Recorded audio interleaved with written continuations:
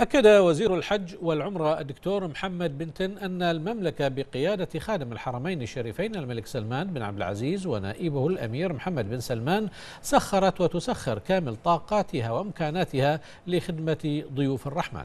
وأوضح في تصريح صحفي عقب تفقده مكتب وزارة الحج والعمرة بمطار الأمير محمد بن عبد العزيز الدولي بالمدينة المنورة أن توجيهات القيادة الرشيدة لهم ولجميع الوزارات والقطاعات المشاركة في خدمة الحجاج هو توفير أعلى درجات الراحة والطمأنينة والأمان لجميع الحجيج دون استثناء بمن فيهم حجاج إيران والأخوة من قطر. مشيرا إلى أن وزارة الحج والعمرة استعدت بجميع إمكاناتها في مكة المكرمة والمدينة المنورة ومنافذ الحج لخدمة الحجاج. ومعلقا على تسييس الحج قال الوزير إننا نرفض تسييس الحج مهما كان الأمر وكشف أن وزارة الحج والعمرة قضت على الحملات الوهمية مؤكدا جاهزية الوزارة لخدمة أكثر من مليوني حاج خلال هذا العام.